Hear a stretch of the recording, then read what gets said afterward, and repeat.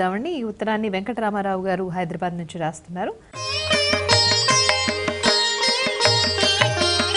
అల్పాహారం తిన్నాక పూజ చేయవచ్చా అని అడుగుతున్నారు.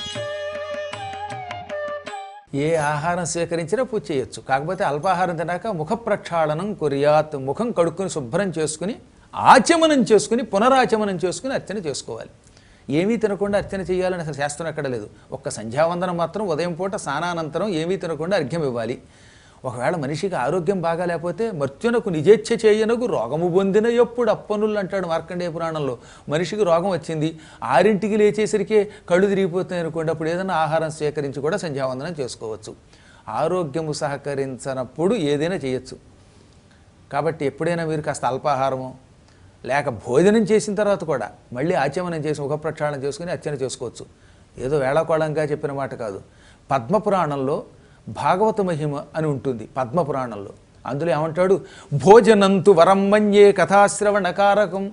నువ్వు ఏదైనా అర్చనలు చేయడానికి సుఖంగా ఉందనుకుంటే భోజనం చేసి కూడా చేసుకో. ప్రొద్దుటే ఒక కాస్త అన్నం తినేస్తే అప్పుడు నీకు హాయిగా ఉందనుకుంటే భోజనం చేసి ముఖము కాళ్ళు చేతులు శుభ్రంగా కడుక్కుని మిగతా పూజ కొనసాగించుకో అన్నాడు. అంత మనకి వెసులుబాట్లు ఇచ్చే పురాణ శాస్త్రాదులు. నోపవాసంతు కర్తవ్య. అసలు ఉపవాసం కర్తవ్యమే కాదు. ఎందుకంటే ఎక్కువ తినడం ప్రమాదం అసలు తినకుండా కటిక ఉపవాసం చేస్తే కళ్ళు తిరిగిపోతాయి అనమాట ఏమీ తినకుండా కూర్చున్నాడండి? కళ్ళు తిరుగుతున్నాయి నీరసం వస్తుంది. అప్పుడు నారాయణ అండు నారాయణ ఎప్పుడవుతుందా జపం? టిఫిన్ అంటాడు. అప్పుడు దానివల్ల ఏమిటి ఉపయోగం? అలా కళ్ళు తిరిగి పడిపోవడంలో వచ్చే ఉపయోగం లేదని వేదవ్యాసుల వారు కారణజన్ముడు గనక విష్ణు స్వరూపుడు గనక ఏనాడో పద్మపురాణంలో చెప్పాడు. ఈ రోజు నుంచి కాస్తో కోస్తో తిరిగి కూడా చేసుకోండి. కాకపోతే ముఖ ప్రక్షాళనం చేసి ఆచమనం చేసి పూజ